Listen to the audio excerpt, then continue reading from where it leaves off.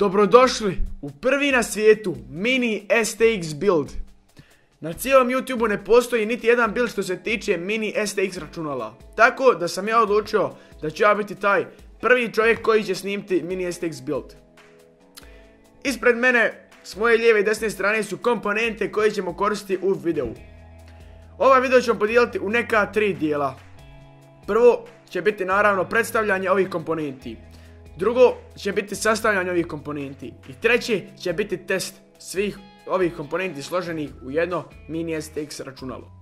Pa što je posebno kod ovog računala? Posebno je tu što će ovo biti najmanje računalo koje možete sam sklopiti.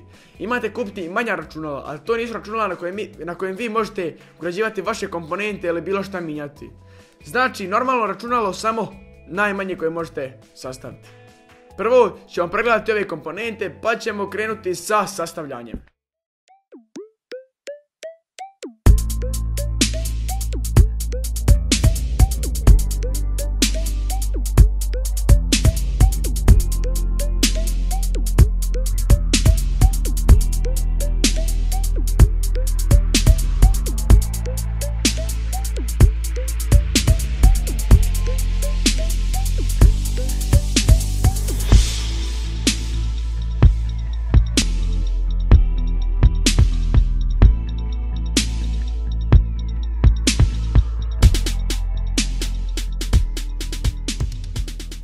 Krenut ćemo sa buildom. Prvo ćemo krenuti sa sastavljanjem procesora i radne memorije na mačnu ploču.